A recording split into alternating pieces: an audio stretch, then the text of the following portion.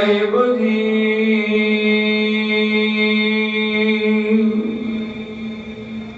ਸ਼ਲੋਕ ਮਹਲਾ ਤੀਜਾ।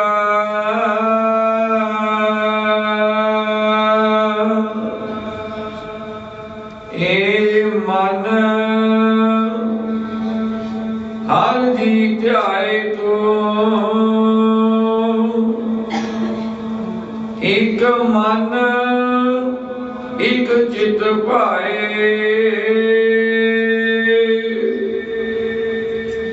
ਹਰ ਕੀਆ ਸਦਾ ਸਦਾ ਵਟਿਆਈਆ।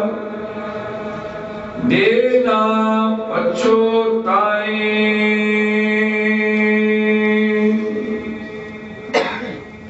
ਹਾਂ ਹਰ ਕੈ ਸਦ ਹਾ ਜਿਤ ਸੇਵਿਆ ਸੁਖ ਪਾਏ। ਨਾਨਕ ਗੁਰਮੁਖ ਮਿਲ ਰਹੈ, ਹਉ ਮੈਂ ਸਬਦ ਜਲਾਈ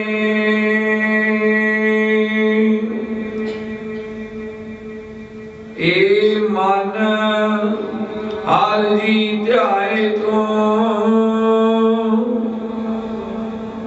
ਇਕ ਮਨ, ਇਕ ਚਿਤ ਭਾਏ। ਹਰ ਕੀਆ ਸਦਾ ਸਦਾ ਵਡਿਆਈਆ। ਦੇ ਨਾ ਪਛੋਤਾਏ ਓ ਹਰ ਕੈ ਸਦ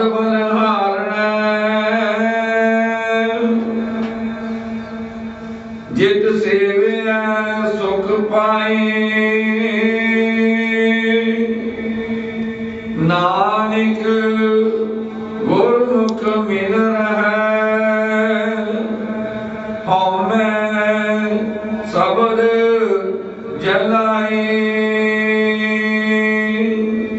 ਮਹਲਾ ਤੀਜਾ ਆਪੇ ਸੇਵਾ ਲਾਇਨ ਆਪੇ ਬਖਸ਼ ਕਰੇ।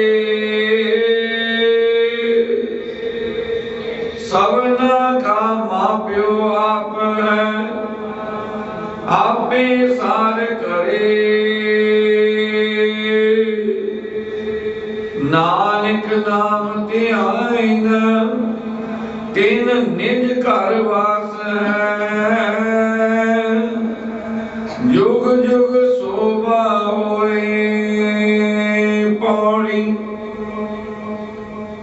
ਤੂੰ ਕਰਨ ਕਾਰਨ ਸਮਰੱਥ ਹੈ ਕਰਤੇ। ਮੈਂ ਤੁਝ ਬਿਨ ਅਵਰ ਨਾ ਕੋਈ। ਤੁਧ ਆਪੇ ਸਿਸਤ ਸਿਰਜੀਆ, ਆਪੇ ਫੁਨ ਗੋਈ।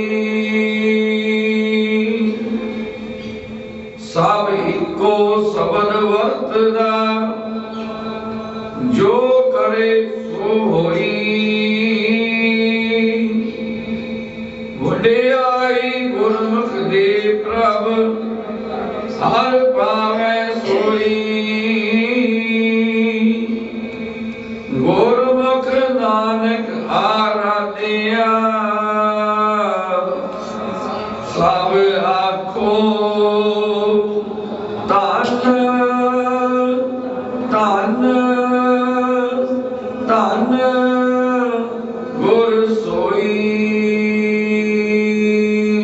ਸੁਧ ਸਭ ਇੱਕੋ ਸ਼ਬਦ ਵਰਤਦਾ, ਜੋ ਕਰੇ ਸੋ ਹੋਈ। ਵਡਿਆਈ ਗੁਰਮੁਖ ਦੇ ਪ੍ਰਭ, ਹਰ ਪਾਵੈ ਸੋਈ। ਗੁਰਮੁਖ ਨਾਨਕ ਆਰਾਧਿਆ